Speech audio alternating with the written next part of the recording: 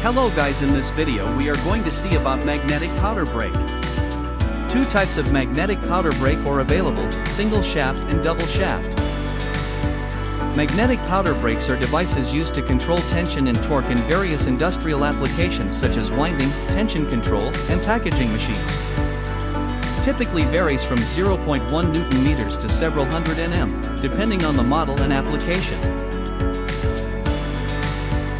typically controlled by adjusting the input current, which regulates the magnetic field strength.